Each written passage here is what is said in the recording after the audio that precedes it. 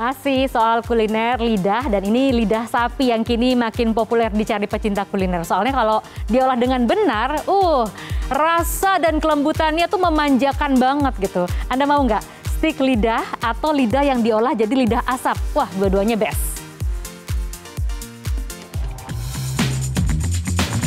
Yang ini stik lidah, yang ini lidah asap yang empuk dengan aromanya yang khas cocok banget buat santapan siang ini.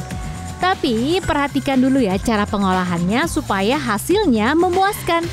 Yuk kita intip cara pengolahan lidah sapi legendaris yang sudah berdiri sejak tahun 1918 di kota Bandung. Selama lebih dari satu abad, tempat ini menawarkan olahan lidah asap dan lidah matang siap saji. Pertama, bersihkan lemak yang menempel di lidah sapinya.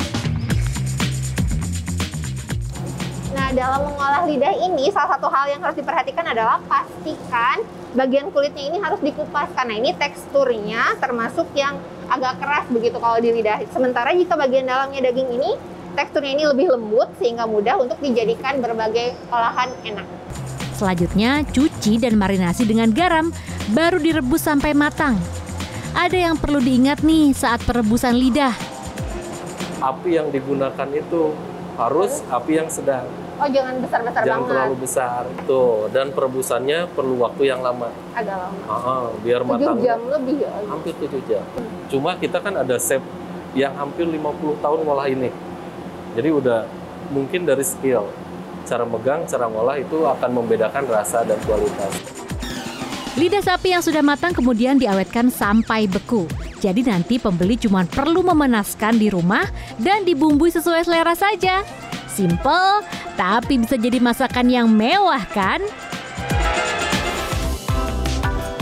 Selain lidah asap, olahan lidah sapi legendaris lainnya adalah stik lidah sapi.